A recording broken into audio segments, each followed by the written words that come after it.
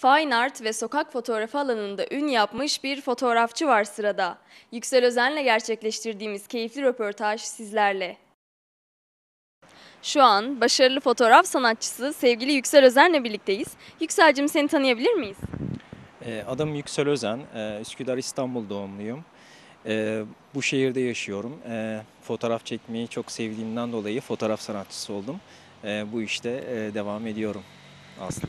Ne zamandır peki fotoğraf çekiyorsun? Klasik sorudur ama merak ediyorum gerçekten. Ee, Şöyle söyleyeyim, ben e, fotoğraf makinesiyle 12 yaşımda tanıştım. Yani babamın e, fotoğraf makinesiyle. Sonradan e, bunu bir hobi olarak devam ediyordum. E, 95 yılında ilk e, ufak dijital bir fotoğraf makinem oldu. E, yaklaşık e, 2009 senesinde de e, dijital, orijinal, profesyonel e, makinemle beraber profesyonelliğe adım attım. Yaklaşık 6 senedir filan profesyonel olarak fotoğraf çalışmalarıma devam ediyorum. Peki seni bu profesyonelliğe iten şey neydi? Yani babandan mı etkilendin yoksa başka birileri mi vardı?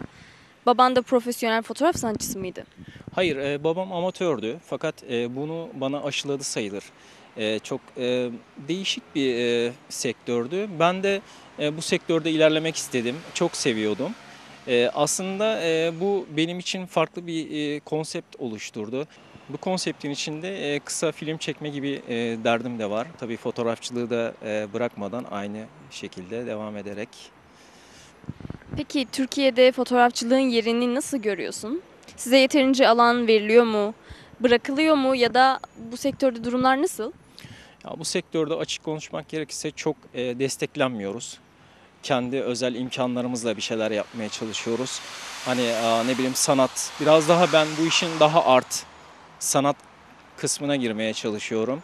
E, daha fine art çalışmalarım var. E, biraz daha sanatsal boyuta kaymaya çalışıyorum. Ama tabii para kazanmak gibi bir derdimiz olduğu için de e, eğlence sektörü ve farklı sektörlerde mimari olsun, e, çekimler de yapıyoruz.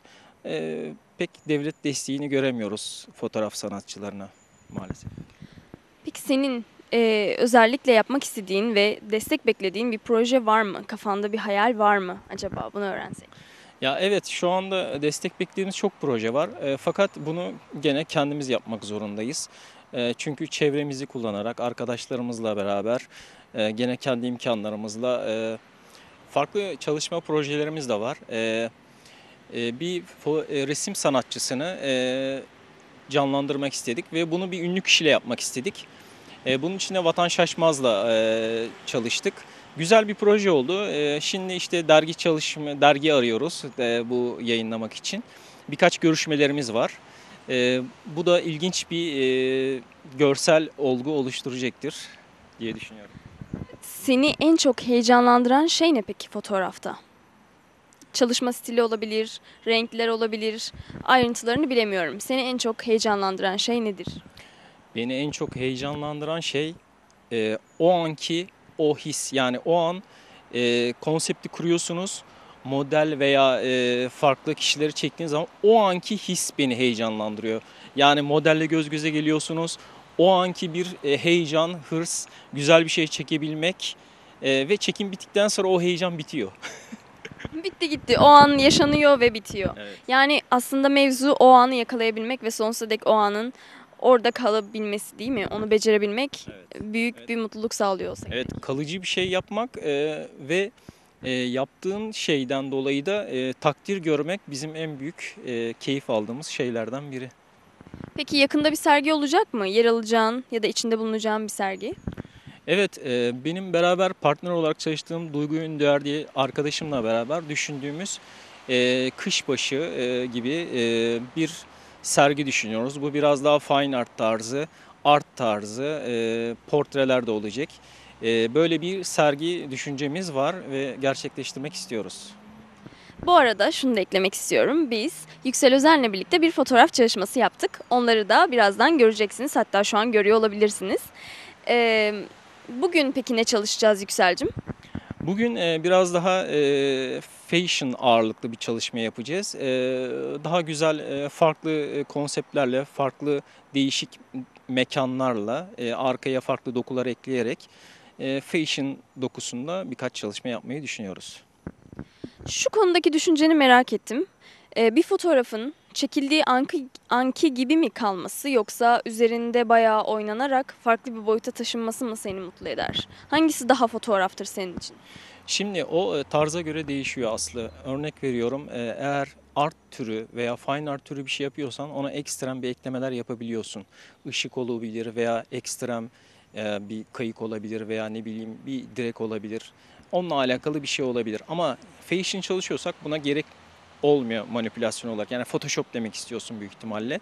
Yani fashion'da çok fazla Photoshop'a ihtiyaç olmuyor. Sadece ufak yüzde dokuyu düzeltmek, ufak tefek şeyler oluyor. Ama yani o tarzına göre değişiyor tabii ki fotoğrafın. Neyle çalıştığına bağlı. Hangi Günümüzde bir de şu var. Herkeste artık akıllı telefonlar var. Bildiğiniz gibi herkes fotoğrafçı. Hepimiz profesyonelmiş gibi fotoğraflar çekebiliyoruz ki bununla övünüyoruz. Bir de bunun e, workshopları oluyor. İşte bazı markaların işte telefonlarının fotoğraf eğitimleri vesaire oluyor. Bu konuda ne düşünüyorsun peki? Sizi acaba hançerliyor mu bu durum? Hayır ben e, çok seviyorum. Herkes fotoğraf çeksin. Yani çünkü neden? E, telefonla da olsa e, bu bir fotoğraf çekmek bir ihtiyaç. Yani ben buradayım e, veya selfie de bir ihtiyaç aslında. Gerekiyor çünkü bizim e, e, özümüzde var bu kendimizi göstermek veya e, bir yere gittiğimiz zaman fotoğraf çek. Ben e, destekliyorum çekilmesi lazım olabilir. Yani çünkü nedir? Telefon fotoğrafçılığı da bir sektördür. E, olması gerekiyor. Bence ben destekliyorum yani. Güzel, yeniliğe açık bir fotoğrafçımız. Genelde böyle e, farklı düşünceler var bu konuyla ilgili. Senden de öğrenmek istedim.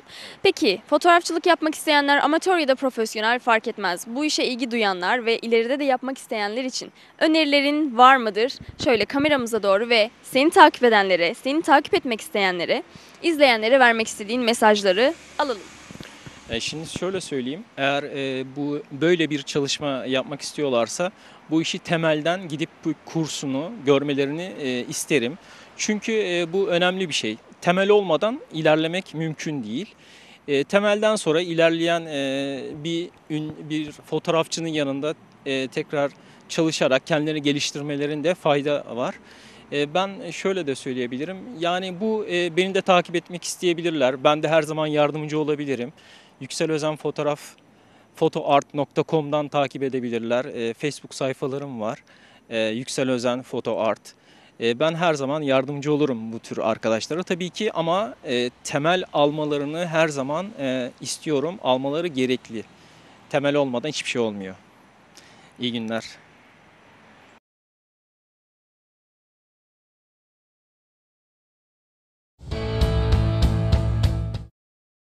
Bu hafta albüm hikayesinde genç bir grup konuğumuz